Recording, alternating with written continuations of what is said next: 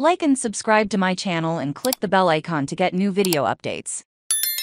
Business news. Vacheron Constantin announces partnership with the Metropolitan Museum of Art. The founding of Vacheron Constantin began with a contract signed on September 17, 1755, by Jean-Marc Vacheron. In this document, Jean-Marc Vacheron committed himself to teaching his art to a young apprentice over a period of five years. The core of Vacheron watchmaking today rests on around 40 skills, which, according to the house, are largely based on the craftsmanship and techniques developed by previous generations, and constantly rethought, adapted and improved over the decades. But beyond that, Vacheron also has its one of not many mentorship program, which has expanded the transfer of knowledge to broader artistic disciplines, including music, so it makes sense that Vacheron would partner with the Met, whose education department presents over 29,000 educational events and programs throughout the year. Vacheron has stated that as part of their new alliance,